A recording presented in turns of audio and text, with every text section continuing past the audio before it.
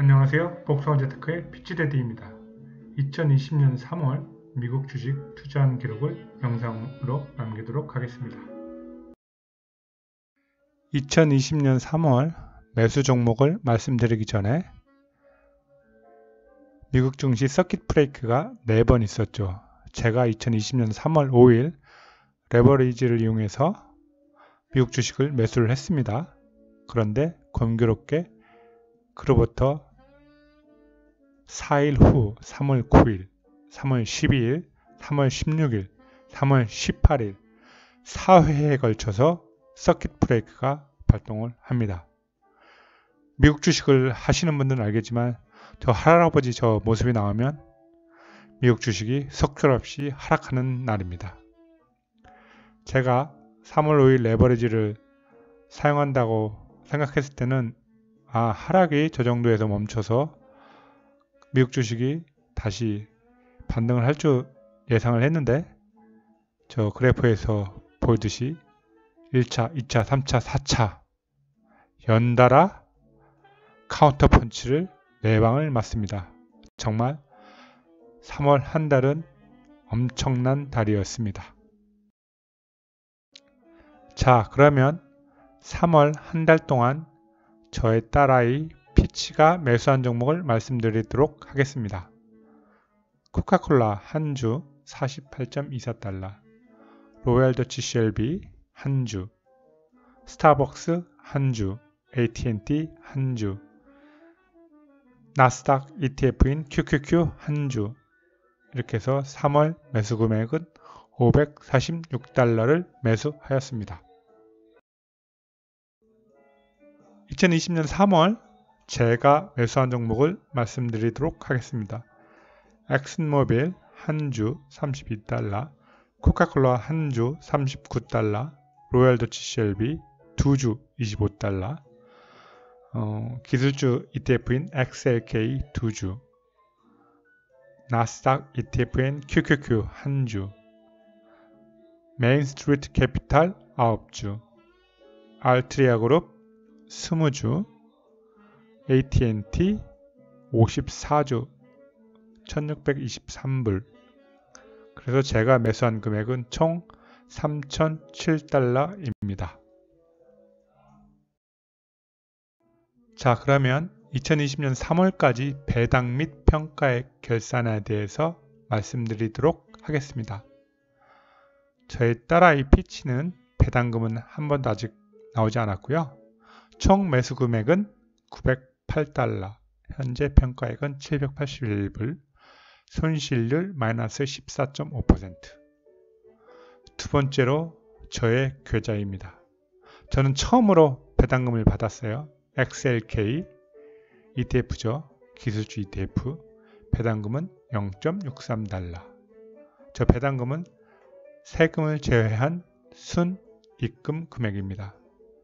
그래서 제가 매수한 총 금액은 4,660불을 매수했는데 현재 평가액 금액이 4,302달러 마이너스 7.89%세 번째로 제가 레버리지를 쓴 계좌를 말씀드리도록 하겠습니다. 애플 호스피탈리티 리츠 종목에서 세금을 제외하고 8.5달러 입금이 되었고요. 처음으로 제가 레버리지를 이용해서 사용한 금액은 76,180달러를 매수를 했습니다. 그런데 3월 31일 기준으로 57,046달러 평가액을 기록하고 있고요. 마이너스 25% 거의 지금 다우지수 시장 그 하락폭만큼 손실이 지금 기록 중입니다. 배당금 들어온 거는 한 어, 원화로 1200원을 따지면 1200원이고요. 이번 달에 3월 달에는 아직 이자를 냈지 않았습니다. 제가 대출을 3, 3월 5일을 했기 때문에 4월 5일 날 지금 대출 이자가 어, 지급 예정입니다. 그래서 지금 레버리지 계좌를 보시면 손실률이 마이너스 25%그 중에서 가장 손실률이 적은 거는 알트리아 그룹 일명 죄악주라고 하죠. 담배 회사 담배와 담배 회사인데 그게 지금 어, 손실률이 가장 적습니다. 3월달 힘든 장을 지나오면서 저와 제 딸아에게 해주고 싶은 말이 있어서 여기에 옮겨왔습니다. 언더우드의 기도 낙서장 중 내가 얼마나 행복한지 날마다 깨닫겠습니다. 라는 글귀인데요. 제가 한번 읽어보도록 하겠습니다. 걸을 수만 있다면, 설 수만 있다면 더 큰 복은 바라지 않겠습니다. 누군가는 지금 그렇게 기도를 합니다. 들을 수만 있다면, 말할 수만 있다면 더 큰 복은 바라지 않겠습니다. 볼 수만 있다면, 살 수만 있다면 더 큰 복은 바라지 않겠습니다. 누군가는 지금 그렇게 기도를 합니다. 놀랍게도 누군가의 간절한 소원을 나는 다 이루고 살았습니다. 놀랍게도 누군가가 간절히 기다리는 기적이 내게는 날마다 일어나고 있었습니다. 부자 되지 못해도 빼어난 외모 아니어도 지혜롭지 못해도 내 삶에 날마다 감사하겠습니다. 날마다 누군가의 소원을 이루고 날마다 기적이 일어나는 나의 하루를 나의 삶을 사랑하겠습니다. 사랑합니다. 내 삶, 내 인생, 나. 어떻게 해야 행복하는지 고민하지 않겠습니다. 내가 얼마나 행복한 사람인지 날마다 깨닫겠습니다. 나의 하루는 기적입니다. 나는 행복한 사람입니다.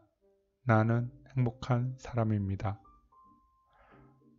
3월 힘든 장을 지금 지나고 있는데 구독자 여러분들과 그리고 제 딸아이 훗날 이 영상을 보게 되겠죠.